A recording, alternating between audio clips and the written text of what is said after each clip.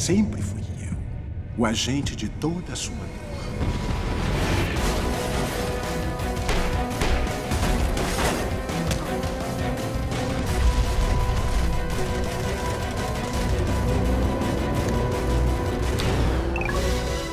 Zero sete contra Spectre.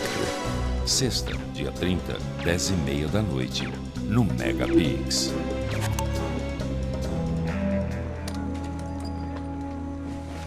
Boa noite.